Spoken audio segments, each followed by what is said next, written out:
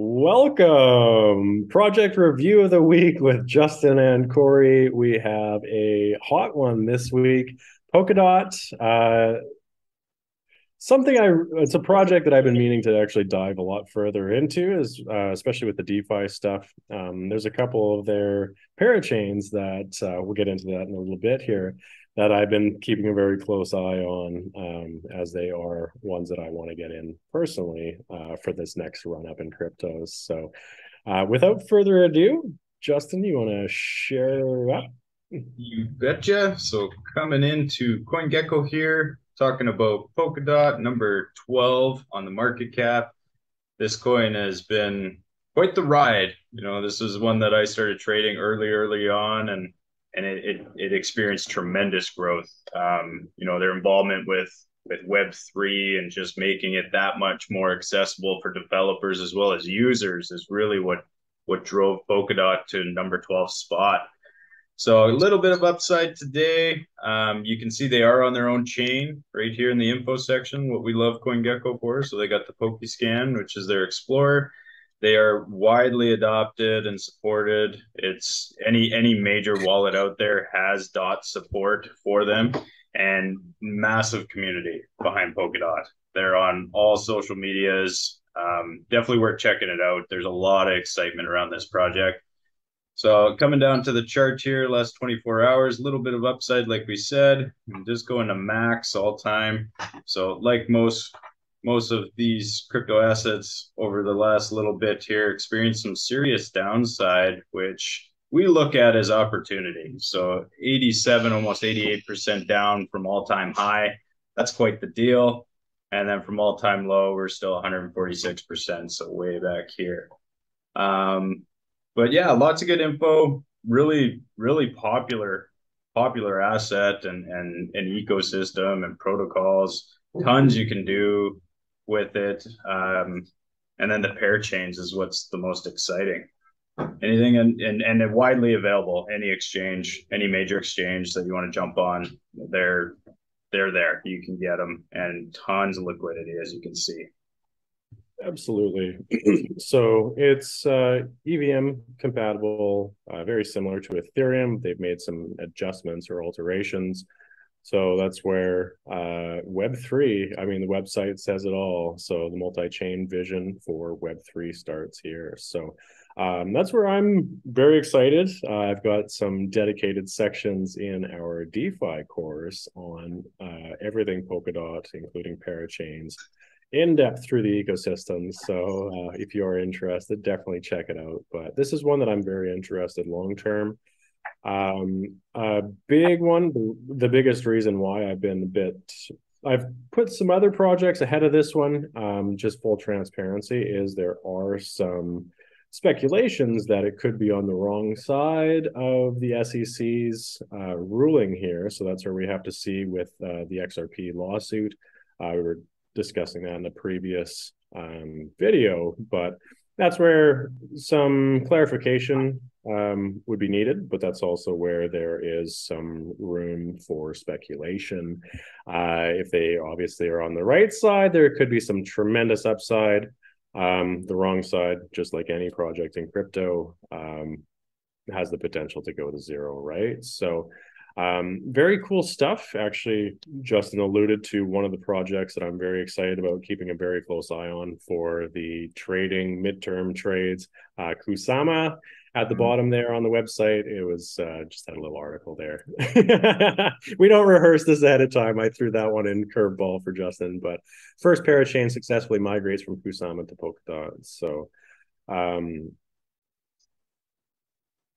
that's interesting. Kilt is actually one I've been hearing a lot about. So that's probably why.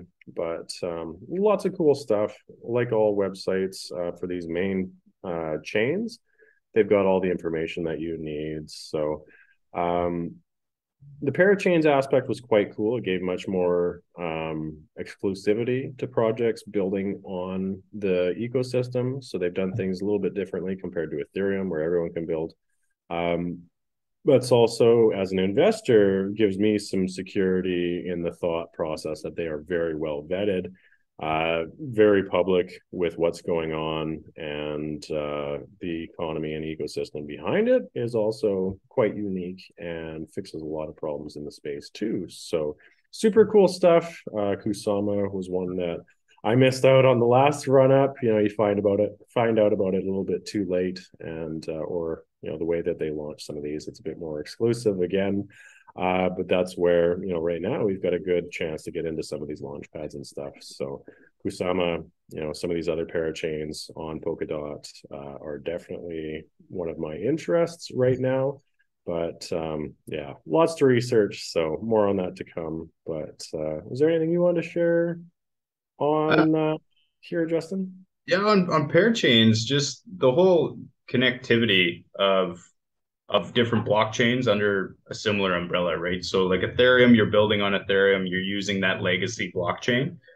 With Polkadot, the solution they brought is, you know, building parachains, which are their own chain, but have total connectivity across the entire Polkadot ecosystem. So I thought that was a really cool solution to bring to the table because that was one of the biggest, you know, issues that I could see with all these other crypto projects and assets building their own chains is you kind of have to commit to a handful of them and then you have completely different operations within those ecosystems and you can't talk to each other right whereas polkadot is really trying to build that connectivity solution where we can have an entire e- ecosystem of different blockchains and different protocols with cross-chain um, compatibility under one umbrella, which I thought was really cool. You know, there's, I guess there's a little bit of centralization there as everyone's kind of under this one umbrella, similar to how Ethereum's operating, but a ton of freedom of, of development. And,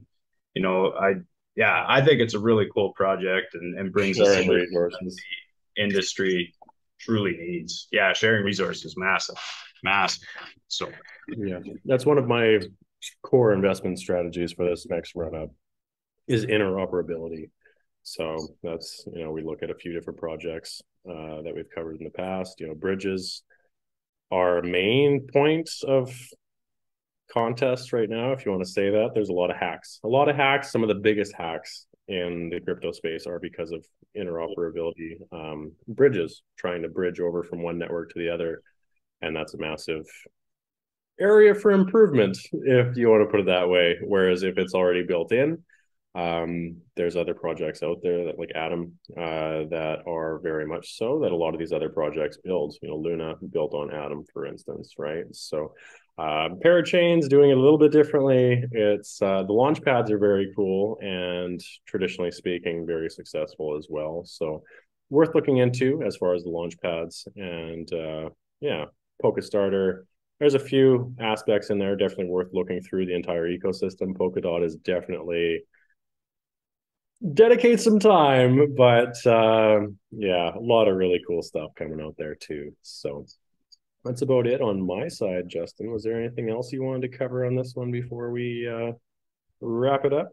No not polkadot just do your own research. It's a it's a rabbit hole. There is a ton going on in that ecosystem. Um, i've been keeping track of it for quite a while and every time I dive into it again, I find some new project or some new solution that they're they're working on to bring to the table to the industry, and it's it's it's really inspiring how they're operating and and sharing resources and just total community driven. So definitely worth checking out. Highly recommended. We're worth researching and and seeing what they're doing. Couldn't agree more. So that's it for this week. Let us know in the comments what you like best, uh, any topics you'd like us to cover more in depth in the future.